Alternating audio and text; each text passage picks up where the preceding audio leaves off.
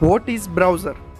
When a user requests a web page from the particular website, the browser retrieve its file from a web server and display the page of the user screen.